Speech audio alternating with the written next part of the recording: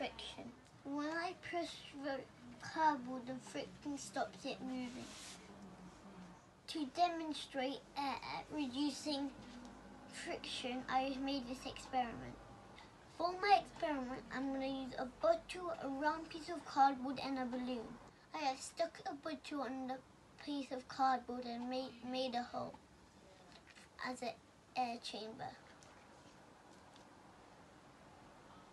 Going to blow up the balloon and put it on top and then the air will go underneath the cardboard to show the friction, to reduce the friction.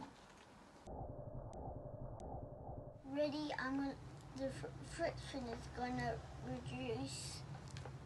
When I let go of the balloon,